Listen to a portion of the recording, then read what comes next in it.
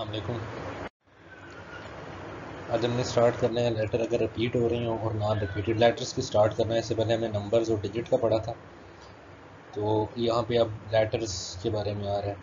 Repeat letters और non repeated letter repeat letters का मतलब होगा जैसे नंबर्स में कोई नंबर रिपीट हो रहा था, हमारे पास नंबर ये रहे हैं one two two three three four five six two repeat हो रहा थ्री तीन दफ़ा रिपीट हो रहा। सेम उसी तरह से लेटर रिपीट हों या नॉन रिपीट हो रहे हैं।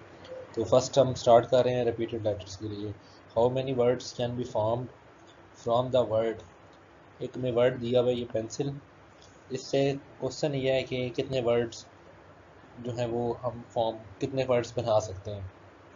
तो देखें पेंसिल इसमें टोटल वर्ड कितने हैं? सिक्स वर्ड्स हैं। और हमें कहा गया इससे कितने वर्ड बनाने हैं? मतलब हमने इस पूरे को ही यूज़ करना होता है। अरेंजमेंट सारी होती है, ठीक है? तो आर भी हमारे पास सिक्स है।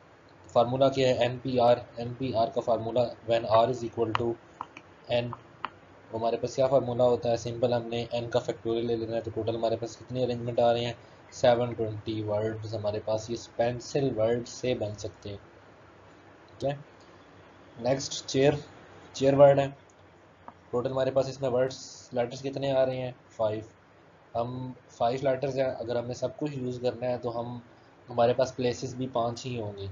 अगर हम चार प्लेसेस रखते हैं तो सारे वर्ड यूज़ नहीं हो रहे होते, ठीक है? तो अगर अगर मेरे क्वेश्चन ऐसा होता है कि how many words can be form from a single word तो इसका मतलब है उस वर्ड को पूरे को यूज़ करना होता है।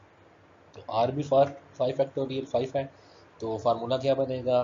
Five P five which is equal to N is equal to R है तो हमें सिंपल एन का फैक्टोरियल ले लेना ये हमने एक फार्मूला देखा था वहाँ पे। एन पी आर एक्चुअली होता है N P R is equal to N factorial divided by N minus R factorial लेकिन एन और आर अगर इक्वल हो तो इसको हम लिखा जाता है सिर्फ़ एन फैक्टोरियल क्योंकि एन माइनस आर वो सेम हो गए zero factorial zero factorial one होता है। तो लास्ट हम देख चुके हैं। तो इसका फार्मूला हमारे पास क्या बनेगा? नंबर ऑफ़ लेटर्स आपने देखने हैं और उसका फैक्टोरियल ले लेना है। ठीक है? अगर कोई भी वर्ड अंदर कोई भी वर्ड रिपीट नहीं हो रहा, देखें P E N C I L कोई वर्ड रिपीट नहीं हुआ C H A I L कोई वर्ड रिपीट नहीं हुआ। नेक्स्ट अगर हमारे पास जो लेटर्स हैं, वो रिपीट होना शुरू हो जाए, अगर हमारे पास लेटर रिपीट होना शुरू हो जाए, ठीक है? हाउ मेनी वर्ड्स और permutations can be form from the word Pakistan अब देखें क्वेश्चन में गिवन होगा हाउ मैनी वर्ड्स ठीक है? यानी कि अरेंजमेंट से रिलेटेड होगा तो परमोटेशन यूज़ करनी है। एक और हम चीज़ पढ़ेंगे कम्बिनेशन उसमें हमें कहा जाएगा, इसमें से हम कितने वर्ड चूज़ कर सकते हैं। चूज़ करना और अरेंज करना दो अलग अलग चीज़ें हैं। तो परमोटेशन में बेसिकली अरेंजमेंट है। ठीक है? तो वर्ड हमारे पास क्या है? पाकिस्तान। टोटल वर्ड कितने हैं? एट और प्लेसेस कितनी होंगी? वर्ड एट है तो प्लेसेस भी एट हमारे पास होनी है। अब आप देखें, इसमें पाकिस्तान में जो ए है वर्ड हमारे पास, ये टू टाइम्स रिपीट हो रहा है। और अगर आपको याद हो डिजिट वाले जब हमने वो क्वेश्चन किए थे तो नीचे एम फैक्टोरियल आया था। N factorial sorry M factorial उसके अलावा मुख्तलिफ़ फैक्टोरियल्स ऐड कर सकते थे नीचे जब ये फार्मूला हमने लास्ट टाइम देखा था। N P R is equal to N factorial divide by N minus R factorial और यहाँ पे एम फैक्टोरियल मैंने आपको बताया हुआ कि ये क्वेश्चन टू क्वेश्चन एम की वैल्यू चेंज होती रहती है। एम एक भी हो सकता है, ज़्यादा वैल्यूज़ भी आ सकती हैं। जितने लेटर रिपीट होंगे ना, हमें सिंपल परमोटेशन निकालने के बाद जितने लेटर रिपीट हो रहे हैं ए दो दफ़ा रिपीट हो रहा है तो नीचे टू फैक्टोरियल अगर साथ एक और वर्ड आ जाता है, वो तीन दफ़ा रिपीट होता है तो नीचे तीन फैक्टोरियल सेम पुरानी वाली चीज़ ही है। तो यहाँ पर क्या बन गया? टोटल एन एट है आर एट है eight E eight which is equal to eight factorial divided by eight minus eight factorial और यहाँ पे जो हमारे पास ए है, वो टू टाइम्स रिपीट हो रहा है तो टू का फैक्टोरियल नीचे। अगर इसको सिंप्लीफाई किया तो ये बीस हज़ार एक सौ साठ वेज बन रहे हैं। नेक्स्ट क्वेश्चन है, जिसमें हमारे पास जो वर्ड है वो मैथमेटिक्स है। ठीक है, ये हमारे पास ये एक मैथमेटिक्स वर्ड है, जिसको हमने यूज़ करके परमोटेशन निकालनी है। मैथमेटिक्स में अगर आप लेटर्स को गिने तो ये हमारे पास ग्यारह लेटर्स हैं। अगर लेटर्स ग्यारह हैं तो इसका मतलब है प्लेसेस भी हमारे पास ग्यारह ही होनी है। ठीक है लेटर्स ग्यारह प्लेसेस ग्यारह। अब एम दो दफ़ा रिपीट हो रहा है हमारे पास। ठीक है ए, दो दफ़ा रिपीट हो रहा है टी दो दफ़ा रिपीट हो रहा है। ठीक है मैथमेटिक्स में आप गिन लें एम भी दो दफ़ा रिपीट हो रहा है ए भी दो दफ़ा रिपीट हो रहा है, और उसके अलावा टी भी हमारे पास दो दफ़ा रिपीट हो रहा है। तो टोटल परमोटेशन कितनी बननी है? फार्मूला क्या बनेगा? एन अलेवन है आर अलेवन है अलेवन पी अलेवन क्या बन गया? Eleven factorial divided by eleven minus eleven factorial यहाँ तक तो परमोटेशन का फार्मूला यूज़ किया जी। कौन सा फार्मूला अलेवन पी अलेवन का फार्मूला और इसके साथ ये टर्म एक्स्ट्रा आ रही हैं. एम दो दफ़ा रिपीट हुआ था तो two factorial A two time repeat हो रहा है तो two factorial T two time repeat हो रहा है तो टू फैक्टोरियल सिंप्लीफाई किया. तो ये हमारे पास कुछ आंसर आ रहा है. Repetition allowed and repetition not allowed देखिए रिपीटेड लेटर और नॉन रिपीटेड लेटर वो दो अलग चीज़ें हैं. रेपिटेशन अलाउ और रेपिटेशन नॉट अलाउ ये दो अलग चीज़ें हैं. जो था रिपीट लेटर उसमें था कि जो हमारे पास एक वर्ड दिया हुआ है, उसी में कोई लेटर रिपीट हो रहा है। जैसे मैथमेटिक्स में देखा एम दो दफ़ा रिपीट हो रहा था। जबकि रेपिटेशन अलाओ और नॉन रेपिटेशन अलाओ में मतलब ये होगा कि एक ही लेटर बार बार आ सकता है या नहीं आ सकता। एग्ज़ाम्पल से देखते हैं। रेपिटेशन अलाउ में देखें मेरे पास वर्ड सिर्फ़ दो वर्ड लिखे हुए हैं ए और बी अगर मैं इसकी परमोटेशन देखूँ, अगर मैं रिपीटेशन अलाउ करता हूँ तो एक तो इसकी कम्बिनेशन जो इसकी अरेंजमेंट बन रही है, वो ये बनेगी ए बी एक साथ आ जाए। ये ए और ए देखें, दो लेटर हैं ए बी इससे पहले हमने कभी ऐसा नहीं किया कि मैं कहूँ ए और ए दो एक साथ आ रहे हों। ये मतलब होता है रेपिटेशन अलाओ या नहीं। रिपीटेशन अलाओ का मतलब है कि एक ही लेटर दो प्लेसेस हैं तो दोनों प्लेसेस पे एक ही लेटर दो दफ़ा आ सकता है। ठीक है? लेटर दो है ना तो प्लेसेस भी हमें दो बन, दो ही फिल करनी है। ऐसे मतलब लेटर बनाने हैं। तो दोनों पे ए यूज़ हो जाएगा दोनों पे बी यूज़ हो रहा है। अगर दोनों पे ए यूज़ हो रहा है तो बी यूज़ ही नहीं हो रहा हमारे क्वेश्चन में। ये है बेसिकली रेपिटेशन अलाउ में तो इसका फार्मूला क्या हमारे पास? आपने लेटर गिन लेने हैं कितने हैं? इस क्वेश्चन में दो लेटर हैं। तो लेटर की पावर लेटर यानी एन पावर एन तो हमारा आंसर क्या बन जाएगा टू का सीयर फोर और आप गिन सकते हैं। टोटल जो कितनी बनी थी वो भी फोर ही बनी है। One two three and four तो आंसर फोर आ गया। ठीक है। अब आपके पास कोई भी क्वेश्चन हो हम देख सकते हैं इसको। आप पिछले क्वेश्चन मैथमेटिक्स को देख लें अलेवन है। तो क्या लिखा जाएगा? टोटल नंबर ऑफ़ वर्ड्स हम कितने बना सकते हैं? अलेवन पावर अलेवन आंसर निकाल लें कैलकुलेटर से। नेक्स्ट है रेपिटेशन नॉट अलाउ अगर रेपिटेशन नॉट अलाउ है तो ये हमारे पास पिछले केसेस ही बन जाएँगे। ठीक है रेपिटेशन अलाउ नहीं कर रहे। ए बी हमारे पास वर्ड है। इसकी परमोटेशन क्या बनेगी? ए बी या बी ए दोबारा ए और ए नहीं आ सकता रिपीट नहीं हो सकता लेटर यहाँ पे। तो इसका फार्मूला क्या होगा? ये हमारे पास पिछला केस है जिसमें N P R N factorial divide by N minus R factorial ये फार्मूला जो हमने पहले पढ़ लिया ठीक? और अगर एन और आर इक्वल हो तो हमारे पास ये क्या बनेगा? एन फैक्टोरियल आंसर होता है। अब इस केस में ए और बी दो वर्ड थे तो एन की वैल्यू टू है हमारे पास आर की वैल्यू भी टू ही है, क्योंकि इस पूरे को यूज़ करना है तो दो डिजिट हैं, दो दो नंबर हैं, दो लेटर्स हैं तो दो लेटर्स के लिए दो ही प्लेसेस होंगी, तभी एक कंप्लीट लेटर बनना है, ठीक है आल को यूज़ करके। तो two factorial which is equal to two तो ये आपने देखा एक और एक ये दो दो वेज ही हैं। नेक्स्ट हमारे पास कुछ एग्जांपल्स हैं, जिसमें मैं दोनों को एट अ टाइम चला रहा हूँ रेपिटेशन अलाउ के भी और रेपिटेशन नॉट अलाउ के भी।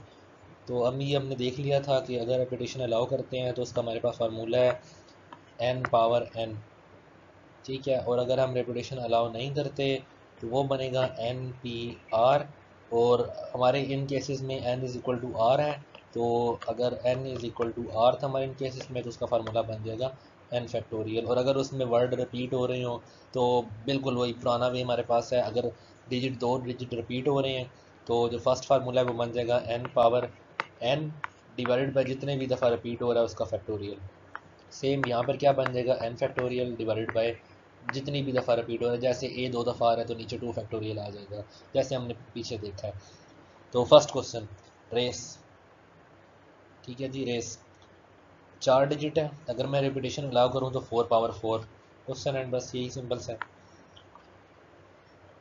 और और रिपीटेशन अलाउ ना करूँ तो four places four number, four places तो फोर का फैक्टोरियल आंसर होगा हमारे पास। फोर का फैक्टोरियल आंसर है। नेक्स्ट आप देख लें फ़ैन लिखा हुआ है। तीन नंबर है। अगर रिपीटेशन अलाउ करना है तो थ्री की पावर थ्री और अगर रिपरेशन अलाउ नहीं करना तो थ्री फैक्टोरियल लैपटॉप अब इसमें ज़रा और करना है। दो, चार छः छः वर्ड है हमारे पास टोटल जिसमें से जो पी है वो दो दफ़ा आ रहा है। पी रिपीट्स टू टाइम्स तो अगर रिपीटेशन अलाउ करते हैं तो टोटल सिक्स हैं six power six divided by P दो दफ़ा आ रहा है तो टू फैक्टोरियल और रिपीटेशन अलाउ नहीं करते तो क्या बना? Six P six P is equal to R तो इसका मतलब है सिक्स का factorial divided by two factorial क्योंकि पी जो है वो टू टाइम्स रिपीट हुआ है। Same case Pakistan. Total word कितने हैं? आठ हैं। टोटल वर्ड आठ तो रिपीटेशन अलाउ में एट पावर एट ठीक है? और इसमें से जो ए है हमारे पास ए वो दो दफ़ा रिपीट हो रहा है। ए दो दफ़ा आ रहा है तो इसका मतलब है नीचे टू फैक्टोरियल आ जाएगा। और अगर मैं रिपीटेशन नाट अलाउ करूँ तो eight factorial divided by two factorial mathematics total word eleven है अलेवन पावर अलेवन और यहाँ पे क्या है? अलेवन फैक्टोरियल और अब डिवाइड में एम टू टाइम्स रिपीट हुआ ए टू टाइम्स रिपीट हुआ टी टू टाइम्स रिपीट हुआ। तो एम की वजह से टू फैक्टोरियल ए की वजह से टू फैक्टोरियल टी की वजह से टू फैक्टोरियल सेम यहाँ पे भी बेसिक फार्मूला वही है कि अगर कोई चीज़ रिपीट हो रही है तो जितनी दफ़ा रिपीट हो रही होगी, वो नीचे डिवाइड में उसका फैक्टोरियल आ रहा होगा. अब असाइनमेंट क्या है? आपने अपना नाम देख लें. जो भी आपका नाम है, उसमें से आपने यही चीज़ अप्लाई करनी है कि अगर हम रेपिटेशन अलाउ करें रेपिटेशन अलाउ ना करें लेटर रिपीट हो रहे हों लेटर रिपीट ना हो रहे हो। अब किसी के नाम में लेटर रिपीट होंगे, किसी के नाम में लेटर रिपीट नहीं होंगे। जो केस भी अप्लाई होता है, वो आपने करके चेक करना है। अपने नाम की परमोटेशन निकाल के देखनी है, कितनी बन सकती है। एग्ज़ाम्पल जैसे मेरा नाम है तो मेरे नाम में कोई भी लेटर रिपीट नहीं हो रहा। ठीक है? तो टोटल परमोटेशन अगर मैं कहूँ लेटर रिपीट नहीं हो रहा, दो अलग चीज़ें हैं। एक है रिपीट एंड नॉन रिपीट और एक है repetition allow and repetition not allow चार चीज़ें हैं इनका चारों का फ़र्क आपको पता होना चाहिए। ठीक है? और अगर मैं अपने नाम का देखूँ तो अगर मैं रिपीटेशन अलाउ करूँ तो ये बनेगा फाइव पावर फाइव और अगर मैं रिपीटेशन अलाउ ना करूँ तो फिर ये मेरे पास बनना है टोटल फाइव है। और प्लेसेस भी फाइव ही होंगी तो ये मेरे पास बनेगा फाइव फैक्टोरियल इतने वर्ड्स मेरे नाम से बन सकते हैं। तो अब आपने अपने अपने नाम को ट्राई कर लें नेक्स्ट हमारे पास all together always together sorry always together वाली फॉर्म आ रही है। इसमें ऑलवेज टुगेदर का मतलब है कि अगर मेरे पास ये ही मेरा नाम ही लिखा हुआ है, मैं इसमें से कहता हूँ जी, आपने परमोटेशन तो बनानी है, लेकिन इस तरह बनानी है कि वावल एक साथ आ रहे हों, और आपको नज़र आ रहा है वावल क्या है? ए और आई है। वावल एक साथ का मतलब है ए और आई हमेशा एक साथ रखने हैं, या तो वो ए आई हो जाए या आई ए हो जाए, लेकिन दोनों के दरमियान में कोई और वर्ड नहीं आए, ये मतलब होता है ऑलवेज टुगेदर का। वावल्स आपको पता है ए आई ओ यू जो पेपर में क्वेश्चन आ सकता है, उस हिसाब से कई दफ़ा क्वेश्चन की स्टेटमेंट में लिखा होता है वावल्स टुगेदर कई दफ़ा लिखा होता है कॉन्सनेंट्स टुगेदर वावल्स के अलावा जो भी अदर वर्ड्स होते हैं, वो सारे कॉन्सनेंट्स होते हैं, ठीक है? और अदर वर्ड्स का मतलब है कि आपको कोई भी दो वर्ड कह दिया जाए, तीन वर्ड कह दिया जाए कि एक साथ रखने हैं। मीनिंग आपको मैं कह देता हूँ जी कि एस को फ़र्स्ट प्लेस पे ही रखना है। या फिर मैं ये कह सकता हूँ एस और बी ये दोनों एक साथ आने चाहिए। बाकी जो मर्ज़ी इधर उधर हो जाए, लेकिन एस और बी एक साथ होने चाहिए। ठीक है तो ये अदर वर्ड्स है। अब इसको चेक करते हैं हम किस तरह अप्लाई करते हैं। सबसे पहले वावल्स के लिए। तो क्वेश्चन है how many words can be formed when vowels are always together अगर वावल एक साथ हैं तो हम कितने वर्ड बना सकते हैं? तो सबसे पहले देखें वर्ड है क्या? Learn L E A R N इसमें से वावल चेक कर लें। ई e और ए वावल हैं तो वावल्स के अलावा आप कितने वर्ड रह गए हैं? एल आर और एन अगर मैंने वावल्स एक साथ करने हैं तो वावल्स के लिए मेरे पास कितने वेज हो सकते हैं? ई और ए है ना? तो या तो मैं इसको ई ए लिख सकता हूँ या ए ए लिख सकता हूँ। अगर मैं वावल्स की आपस में परमोटेशन की बात करूँ तो। तो यही हो सकती है। तो इसका मतलब है वावल्स को लिखने के कितने तरीके हैं? टू फैक्टोरियल क्योंकि दो वावल हैं तो दोनों को एक साथ रखना है तो प्लेसेस भी दो ही होंगी हमारे पास, दोनों को एक साथ रखने के लिए। तो टू वेज हैं हमारे पास वावल्स को लिखने के। अब जब हमने इनको इस तरह से लिख लिया, अब मेरे पास वर्ड कितने रह गए? देखें, ए, ई और ए वावल को अब हम एक वर्ड कंसिडर करेंगे। जब ये दोनों एक साथ लिखे जाएँगे तो इसका मतलब है हमारे पास जो वर्ड रह गए हैं, ये वावल एक साथ लिखे गए हैं। तो प्लेसेस अब मेरे पास पाँच नहीं रही, चार रह गई क्योंकि दो को मैंने जोड़ लिया मैंने कहा, ये दोनों तो मैंने एक साथ ही लिखने हैं। अगर एक साथ लिखने हैं तो वो मैंने एक प्लेस कंसिडर कर लिया कि ये एक प्लेस है। अब एल आर और एन रह गई ठीक है? अब मेरे पास चार प्लेसेस रह गई हैं पाँच नहीं है, क्योंकि बाबल को मैंने इकट्ठा जोड़ लिया है। मैंने कहा, ये जुड़ गई हैं आपस में। ठीक है? तो इनकी प्लेस अब दरमियान वाली प्लेस ख़त्म हो गई इनको एक कंसिडर कर लिया है। तो अब मेरे पास टोटल वर्ड्स कितने फॉर्म होंगे? देखिए, चार प्लेसेस रह गई हैं। क्यों? एल आर एन और ये वावल जो दो इकट्ठे कर लिए थे। तो ये चार प्लेसेस चार ही वर्ड रह गए हैं। तो इनको फिल करना है तो क्या बनेगा? फोर फैक्टोरियल अब वावल्स को फर्दर लिखने के दो वेज थे। ये ऊपर देखे आपने दो वेज है वावल्स को लिखने के। तो वो दो फैक्टोरियल यहाँ पर मल्टीप्लाई होगा। तो टोटल वेज कितने आ गए जी? फोर्टी एट नेक्स्ट क्वेश्चन है एप्टीट्यूड जिसमें से वावल्स क्या हैं? A I U E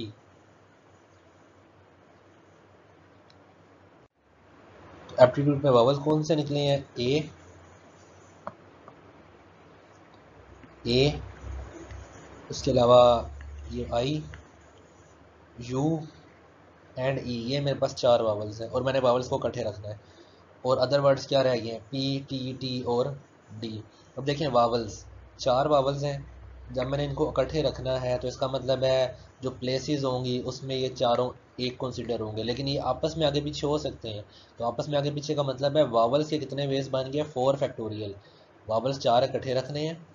ठीक है? ये चार वावल्स ये इकट्ठे रख के इनको एक कंसिडर कर लेना ठीक है? इनको इकट्ठा रखने का मतलब है प्लेस एक कंसिडर होगी, लेकिन ये इन साइड जो है वो आगे पीछे हो सकते हैं। ए ए पहले पोजीशन पे आ सकते हैं आई भी आ सकता है यू भी आ सकता है, लेकिन रहेंगे ये इकट्ठे।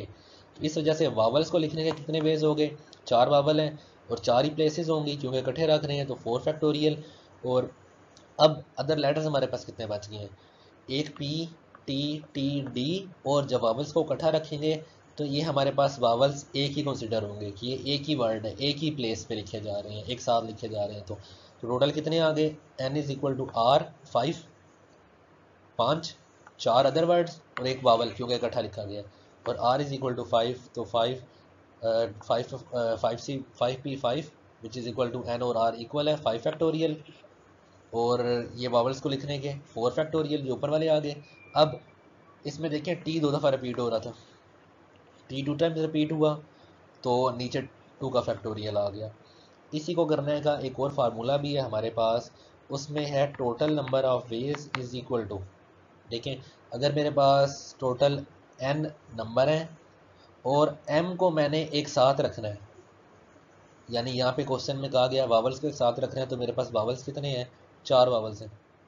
ठीक है? चार वावल्स हैं ना? तो उसका फार्मूला क्या है? M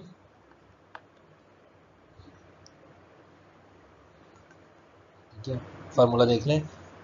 N minus M M N बड़ा होगा एम छोटा होगा तो N minus M plus one factorial multiply by M का फैक्टोरियल अगर डायरेक्ट करना है तो डायरेक्ट हमारे पास ये फार्मूला है इसका। अगर वही, आगे बात वही अगर कोई वर्ड रिपीट हो रहा है तो नीचे उसका फैक्टोरियल भी आना है। अब हमारे केस में एन हमारे पास कितना है? टोटल वर्ड्स कितने हैं? टोटल वर्ड्स कितने हैं? एट है। एम कितना है? एम का मतलब है वावल्स को इकट्ठा रखना है तो चार वावल्स हैं तो एम की वैल्यू फोर है। तो ये क्या बनेगा? Eight minus four plus one का फैक्टोरियल और आप देख सकते हैं क्या रिपीट हो रहा है टी दो दफ़ा रिपीट हो रहा है। तो डिवाइड में क्या आ जाएगा? Two factorial multiply by M M कितना है दी फोर तो फोर का फैक्टोरियल तो ये क्या बना? Eight minus four four plus one five तो ये यही चीज़, यही फार्मूला बना है five factorial divide by two factorial multiply by four factorial ये सारा काम समझने के लिए है, जो आपको समझ आनी चाहिए। अगर आप डायरेक्ट करना चाहते हैं तो ये बस दो लाइनों में आपका क्वेश्चन सॉल्व हो जाएगा। तो कम्प्लीकेशन नेक्स्ट दोबारा से एक और एग्जांपल ली है मैथमेटिक्स वर्ड है। और इसमें भी दोबारा से क्वेश्चन वही है कि वावल्स को इकट्ठा रखना है। सिर्फ़ थोड़ी सी आपकी प्रैक्टिस के लिए क्वेश्चन बढ़ाए हैं। बाकी एक क्वेश्चन से भी अगर आपको समझ आ गई तो कोई प्रॉब्लम नहीं है। मैथमेटिक्स में वावल्स कौन कितने हैं? ए आई ओ यू अगर मैंने वावल्स इकट्ठे रखने हैं, इसका मतलब है मेरे पास जो एम की वैल्यू है, वो फोर आ गई है। टोटल्स कितने हैं? एन कितना है जी? अलेवन अगर आपको पहले वाली चीज़ समझ आ चुकी है तो आप इसको डायरेक्ट कर सकते हैं। क्या लिखा जा सकता है कि एन कितना है? अलेवन अलेवन माइनस एम कितना है? फोर प्लस वन का फैक्टोरियल मल्टीप्लाई बाय एम कितना है? फोर फैक्टोरियल और डिवाइड में क्या आएगा? अब चीज़ें कितनी दफ़ा रिपीट हो रही हैं? देखें एम दो दफ़ा रिपीट हुआ तो टू फैक्टोरियल डिवाइड में आया। ठीक है? टी दो दफ़ा रिपीट हुआ तो टू फैक्टोरियल डिवाइड में आ रहा है। ठीक है? इसी तरह और ए दो दफ़ा रिपीट हो रहा है तो टू का फैक्टोरियल बी डिवाइड में आ रहा है हमारे पास। ठीक है? तो ये हमारे पास टोटल क्वेश्चन वे है। एट द एंड बनेगा वही चीज़ हमारे पास। जो यहाँ पे मैंने क्वेश्चन में सॉल्व किया हुआ है वही चीज़ बनेगी। अब ज़रा क्वेश्चन किस तरीके से मैं सॉल्व किया हुआ है, वो भी देख लें। ठीक है वावल्स को इकट्ठा लिखना है। तो आप देख सकते हैं जी कि बावल्स कौन से हैं? ए आई ओ यू तो टोटल बावल्स को लिखने के कितने तरीके हैं? ये मैंने इस वजह से किया ताकि आपकी पिछली भी प्रैक्टिस हो दोबारा, वरना डायरेक्ट किया जा सकता है। डायरेक्ट वे है हमारे पास। मैंने बता दिया वे भी करके बता दिया। ठीक है A E I O you vowels हैं। तो टोटल बावल फोर्स हैं। फोर बावल हैं, फोर ही प्लेसेस हैं तो फोर का फैक्टोरियल और ए दो दफ़ा रिपीट हो रहा है तो ये टू फैक्टोरियल तो आंसर कितना आ गया? ट्वेल्व हमारे पास। अब अदर लेटर्स कौन से हैं? वावल्स निकाल दी है रिमेनिंग लेटर्स मैंने यहाँ पे लिख दिए, आप देख सकते हैं। अब टोटल वर्ड लेटर्स हमारे पास कितने रह गए? टोटल लेटर्स कितने रह गए? देखिए, इन वावल्स को हमने एक को बना लिया, एक कंसिडर कर लिया। जब हमने इनको इकट्ठा लिखना है, इसका मतलब है कि जो पहली चार या जिधर भी ये आ रहे होंगे, वो चार प्लेसेस एक कंसिडर होंगे, क्योंकि ये इकट्ठे लिखे हुए हैं। तो इसको मैं ब्रैकेट में लिख रहा हूँ कि ये एक प्लेस है मेरे लिए। इसके अलावा बाकी सारे तो टोटल कितने हो गए हैं? आठ प्लेसेस आठ ही हैं, जिसमें से एम दो दफ़ा रिपीट हो रहा है टी दो दफ़ा रिपीट हो रहा है। ए रिपीट हो रहा है, लेकिन हम ए पहले यूज़ कर चुके हैं। वो जब मैंने वावल्स निकाला था तो जो ए दो दफ़ा रिपीट हो रहा था, वो यहाँ पे लिखा था। यहाँ पे हमने इसको एक कंसिडर कर गए हैं बस, कि ये एक ही है हमारे पास। ठीक है, हम इन साइड नहीं देख रहे कि इन साइड क्या लिखा हुआ है। तो देखें क्या बन गया। एन और आर इक्वल है तो एन फैक्टोरियल यानी एट फैक्टोरियल एम दो दफ़ा रिपीट हुआ तो टू फैक्टोरियल टी दो दफ़ा रिपीट हुआ टू फैक्टोरियल मल्टीप्लाई बाय देखें यहाँ पे ट्वेल्व कैसे आया? Four factorial divided by two factorial वो जो ए का टू था, वो यहाँ पे लिखा गया ठीक है? तो आप इसको डायरेक्ट भी कर सकते हैं। नेक्स्ट अगर कॉन्सनेंट्स का क्वेश्चन आ जाए सेम वही है। वावल्स और कॉन्सनेंट्स में सेम कोई फ़र्क नहीं है। सिर्फ़ आपको पता है वावल्स ए आई यू है और कॉन्सनेंट्स अदर वर्ड्स होते हैं। How many words can be form when consonants are together legal एक वर्ड है जिसमें कॉन्सनेंट्स को एक साथ रखना है। तो आप देख लें कॉन्सनेंट्स कौन से हैं? एल जी और एल ठीक है तो टोटल बेस कितने बनेंगे हमारे पास? ये तीन वर्ड हैं, तीन प्लेसेस थ्री फैक्टोरियल और एल दो दफ़ा रिपीट हो रहा है तो डिवाइड में टू फैक्टोरियल और अगर कॉन्सनेंट्स तो हमने लिख ली अदर वर्ड्स कितने हैं? ई e और ए तो टोटल वर्ड्स हमारे पास अब कितने रह गए हैं? इनको एक कंसिडर करना है तो ये मैंने एक कंसिडर कर लिया है। ई e और ए तो टोटल कितने वर्ड हैं? तीन वर्ड हैं। तीन वर्ड तीन प्लेसेस तो इसका मतलब ये कितना बन गया? Three factorial multiply by consonants को लिखने के कितने वे थे? ये जो यहाँ पे फाइंड किया है, वो इस जगह पे लिखा। गया अब इसको सिंप्लीफाई कर लेना है। नेक्स्ट पेंसिल इसमें देखें पी एन सी एल ये कॉन्सनेंट्स हैं हमारे पास। इसको लिखने के कितने तरीके हो गए? चार वर्ड हैं, कोई रिपीट नहीं हो रहा तो इसका मतलब है फोर फैक्टोरियल रिमेनिंग कितने हैं? ई e और आई जब मैं कॉन्सोनेंट्स को एक साथ लिखूँगा तो ये एक प्लेस कंसिडर होगी। तो टोटल हमारे पास, मेरे पास लेटर्स अब कितने रह गए? ये कॉन्सोनेंट्स हो गए, क्योंकि इकट्ठे लिखे गए हैं। ई e और आई प्लेसेस तीन है। कोई टर्म रिपीट नहीं हो रही। इस पूरे को एक कंसिडर कर रही है। कोई टर्म रिपीट नहीं हो रही। इसका मतलब है थ्री फैक्टोरियल क्योंकि तीन है। और फिर कॉन्सोनेंट्स को लिखने का तरीका फोर फैक्टोरियल ठीक है? तो ये हमारे पास सॉल्व हो गया। Last A other words other words जैसे मैंने बताया कि कुछ भी कहा जा सकता है लर्न नहीं है। इसमें इसने कहा जी आर और एन ऑलवेज टुगेदर है। आर और एन को हमेशा एक साथ रखना है। तो आप देख सकते हैं आर और एन को अगर मैं एक साथ रखूँ तो ये लिखा गया टोटल कितने वर्ड दो। और प्लेसेस भी दो ही होंगी, क्योंकि इन्हीं दोनों को इकट्ठे रखना है तो ये टू फैक्टोरियल बन गया। अदर वर्ड्स कितने रह गए हैं? एल ई e और ए अब अगर मैं प्लेसेस की बात करूँ तो एक आर और एन ये एक यूनिट काउंट होंगे। एल ई और ए टोटल चार रह गए, चार फैक्टोरियल मल्टीप्लाई बाय जो इस वर्ड को लिखने का तरीका है, दो तो दो फैक्टोरियल तो आंसर कितना आ गया? फोर्टी एट अगर आप इसी क्वेश्चन को अगर डायरेक्ट मेथड से देख लें तो आप देखें वर्ड क्या है? एल ई ए आर और एन तो ये हमारे पास कितने वर्ड्स हैं? एन की वैल्यू कितनी है? फाइव एम कितने वर्ड्स को एक साथ लिखना है? दो वर्ड को एक साथ लिखना है आर और एन को। एम की वैल्यू टू तो टोटल नंबर ऑफ़ वेज कितना बन गया? Five minus two plus one factorial और मल्टीप्लाई बाय एम का फैक्टोरियल एम का फैक्टोरियल कितना आ गया? Two factorial five minus two three three plus one four तो four factorial multiply by two factorial तो ये ही बेसिकली यहाँ पे लिखा है। तो यही हमारा एंड है।